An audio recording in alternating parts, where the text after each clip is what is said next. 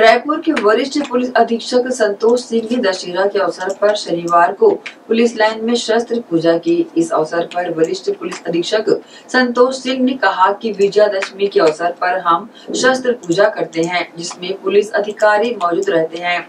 लोगों की सुरक्षा के लिए जब भी आवश्यकता होती है, पुलिस हथियार ले लेती है। उन्होंने कहा कि रायपुर ज़िले में जहाँ भी विजयादशमी का उत्सव चल रहा है, उन सभी जगहों पर पुलिस बल को तैनात किया गया है।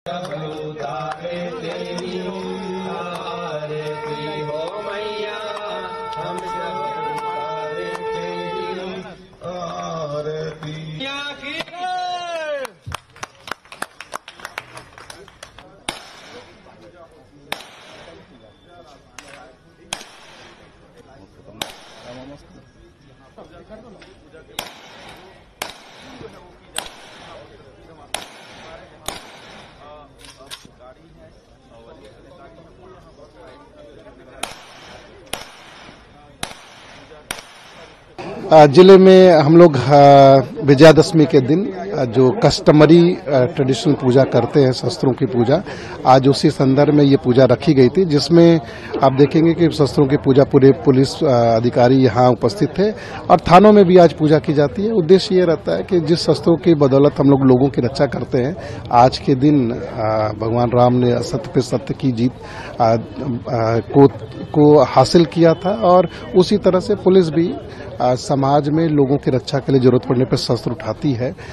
इसीलिए आज शस्त्रों की पूजा करके हम लोग अ, उस दिन को मनाते हैं। साथ ही साथ ज़िले में भी आज जगह जगह विजयादशमी का त्यौहार मनाया जा रहा है। रावण दहन होगा उसमें भी पुलिस बल लगा हुआ है और हर त्यौहार की तरह आज भी पुलिस तैनात रहे